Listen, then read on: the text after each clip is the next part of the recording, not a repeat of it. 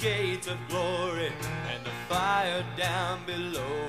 In many great decisions, carve the people in this place. You can tell the strength that's in them, you can see it in their face. Well, it's been nine or ten years since I.